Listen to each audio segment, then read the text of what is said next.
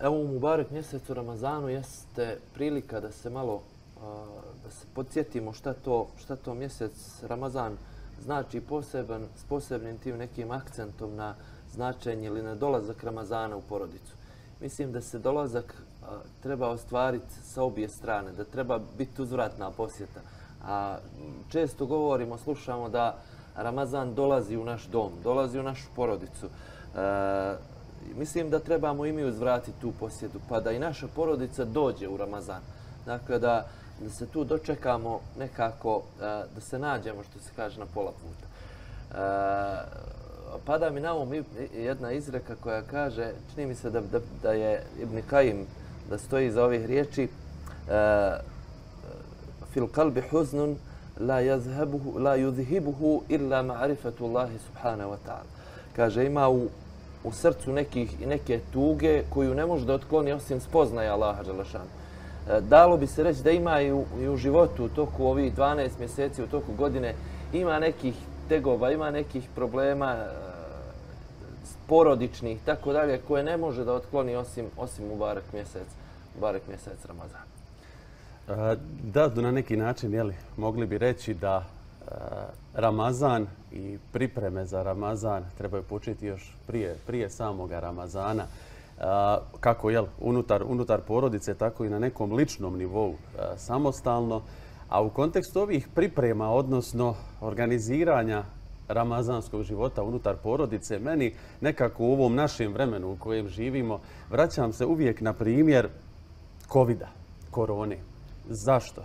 Pored ovog, recimo, teškog aspekta, naravno, zdravstvenog, gdje su, eto, nažalost, brojni preselili na Ahiret i bolovali u tom, u tom iskušenju.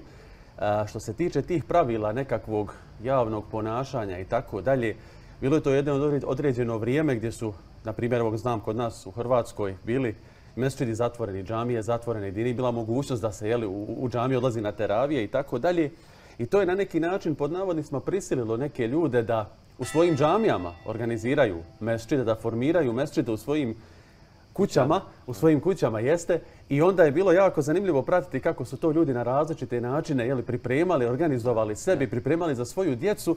I to je jedna praksa koju bi na neki način trebali u ovom, recimo, post-covidskom vremenu prenijeti, gdje se može unutar svojih kuća, unutar svojih kuća pripremiti jedan poseban prostor ramazanski koji će i djeci pomoći da se pripreme, da i badete, da u skladu sa svojim jel, uzrastom, svojom dobi, da iskoriste to vrijeme, a naravno i za tu jednu jel, širu, uh, širu porodicu da učestvuju u svemu onome što Ramazan jeste. Jer Ramazan doista jeste jedan praznik za porodicu jer nas Ramazan po svojoj suštini, po svojoj prirodi uvijek vraća na te fabričke postavke, mi bi rekli.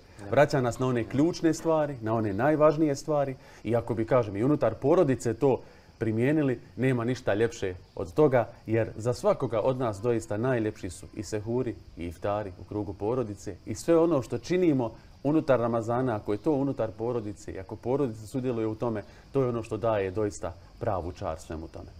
Fascinantno je da mene oduševljavaju neki ljudi koji su prilično zauzeti poslom, ali planiraju da recimo godišnji odmor potroše u mjesec Ramazana, da uzmu to vrijeme. Dakle, to je, to je e, smišljeno, ciljano i badet s predumišljajem, što se kaže.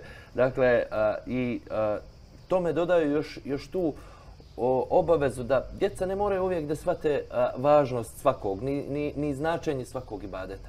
Ali u mjesecu Ramazanu, čak i kroz taj festivalski duh okupljanja, dešavanja, radosti, zajedničkih iftara, ne znam, posjećivanja porodica e, na te iftarske sofre, pa zajedničke teravije, pa svašta nešto.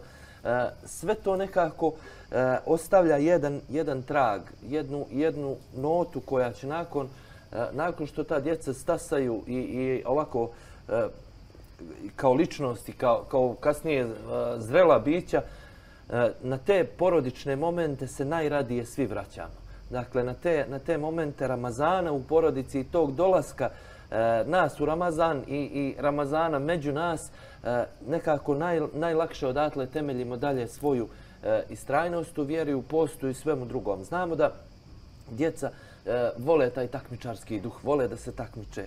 E, oni koji mogu e, da im se izazov, ono što djeca danas kažu, da ih, da ih u challenge, da, da pokušaju da postaje, pa mogli, ne mogli, e, nije važno. Važno je da ta, da ta želja postoji.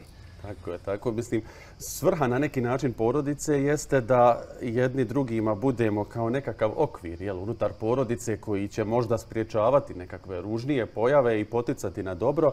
I to bi mi nekako nazvali odgojem, jel, jednostavno. A opet savremenim rječnikom to je neka vrsta programiranja ili kodiranja, e, pogotovo ako se govori o, o samoj djeci, gdje o ovom osjećaju kojem si govorio, gdje se kod djece rađa, ako oni ne razumije u cijelini ne razumije naravno ovu punini nekakvu ibadetsku stranu. Mislim, mi stari imamo problema sa tim, borimo se sa tim uvijek kroz život.